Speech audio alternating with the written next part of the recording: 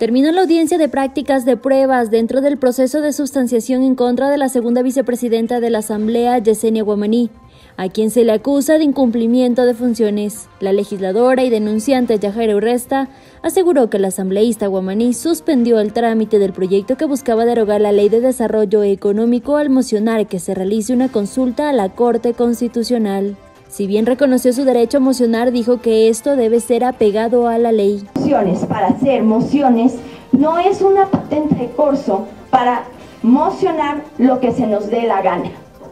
Tenemos límites, como cualquier otra función del Estado, y esos límites son los que se ponen en la misma Constitución. Mientras que la defensa de Guamaní detalló una serie de procesos que dijo que encontró en trámite y precisó que la moción para una acción de interpretación de la Corte es constitucional. Secretario, no está bien convocada. Calificar un proyecto de ley no solo depende de la asambleísta Guamaní, sino del CAL. Que presentar una acción de interpretación es una de las atribuciones que tiene la Asamblea Nacional y que ya lo ha hecho en otros casos.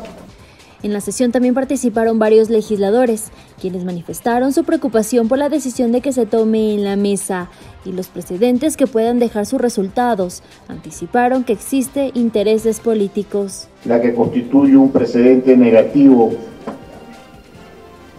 que puede perjudicar a todos los que somos asambleístas, por cuanto es un derecho constitucional y legal que tiene cada miembro de esta asamblea y de cualquier asamblea en el mundo el elevar mociones. Tras la audiencia, la comisión tendrá que presentar y debatir el informe sobre la denuncia en contra de la segunda vicepresidenta Yesenia Guamaní este sábado a las 10 de la mañana. En Quito, para Última Hora, Ecuador, Carol Aguirre.